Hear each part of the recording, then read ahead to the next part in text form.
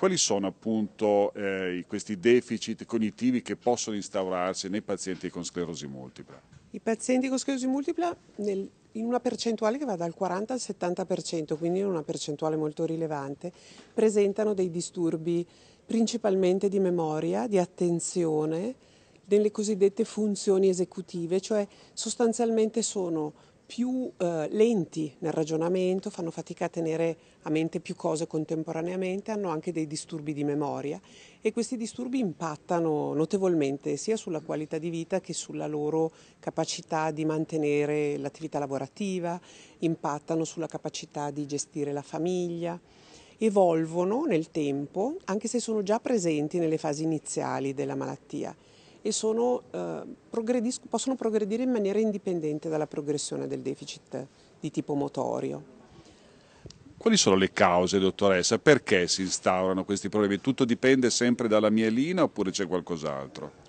Allora, ci sono stati tantissimi studi che hanno correlato l'entità e la tipologia del deficit cognitivo con il tipo di danno a livello cerebrale, ovviamente principalmente misurato con la risonanza magnetica e sicuramente il disturbo neuropsicologico, quindi i disturbi di memoria ed attenzione correlano col carico del danno della sostanza bianca, ma soprattutto correlano con il danno della sostanza grigia, sia in termini di lesioni corticali, tant'è che si è visto che quanto peggiore è la funzione cognitiva, tanto maggiori sono le lesioni corticali e il loro volume totale e soprattutto con l'atrofia della sostanza grigia. Quindi tanto più progredisce l'atrofia, che spesso nella pratica clinica non viene esattamente misurata, tanto peggiori sono i disturbi cognitivi. Senta, il nostro cervello, che è una macchina meravigliosa, in questi casi mette in atto dei meccanismi di compenso. Quali sono? Allora, si è visto, soprattutto studiando quella che è la, la funzione cerebrale con tecniche di risonanza magnetica funzionale che misura cioè quanto è attiva una particolare area o quante sono attive delle particolari connessioni corticali e eh, co- cosa, cosa, fa il cervello per compensare questo. Si è visto ad esempio che i soggetti che sono poco compromessi dal punto di vista cognitivo presentano rispetto ai soggetti sani una maggiore attivazione delle aree che sono deputate a quella funzione.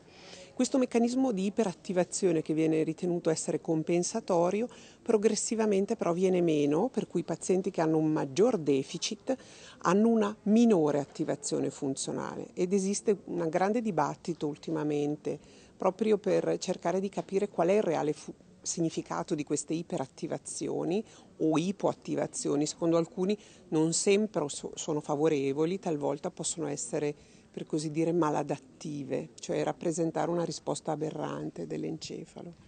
Dottoressa, ultima domanda ma molto importante. Cosa fare in questi casi? Ci sono dei farmaci specifici, ci sono de delle attività di riabilitazione per ridurre appunto questo tipo di problemi?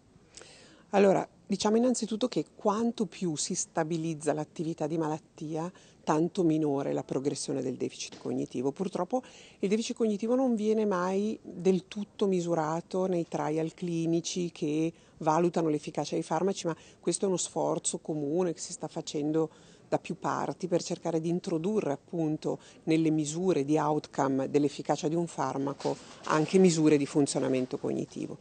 Si è visto però che eh, gli esercizi di eh, cosiddetti riabilitazione neuropsicologica sono estremamente efficaci e questo lo si è visto attraverso degli studi randomizzati in cui degli esercizi specifici per esempio che trattavano l'attenzione nei pazienti che avevano dei deficit di attenzione degli esercizi di memoria in pazienti che avevano dei deficit di memoria miglioravano significativamente in maniera persistente le funzioni cognitive deficitarie e anche la qualità di vita, gli score di depressione, quindi sicuramente questi training cognitivi sono, funzionano. Si può contrastare, non bisogna abbattersi quindi. Sì, infatti, infatti.